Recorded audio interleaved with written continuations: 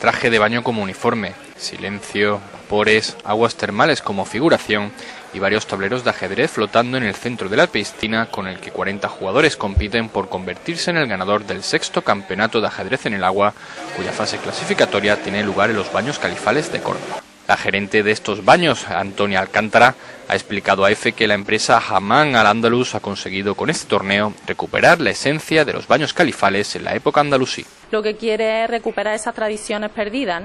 y entonces por eso es el, llegar a hacer lo mismo que hacían en, en la época andalusí. Al-Ándalus fue una puerta por la que asomaron grandes avances científicos y culturales gracias a la expansión de los árabes, que además fueron quienes importaron el ajedrez, un juego que se practica en los baños árabes, convertidos en un punto de lectura, debate y cultura, además de un centro de higiene y relajación. Cuatro torneos independientes en Córdoba, Málaga, Granada y Madrid llevarán a sus vencedores a una final que se desarrollará el 2 de diciembre en las cálidas aguas de los baños termales malagueños.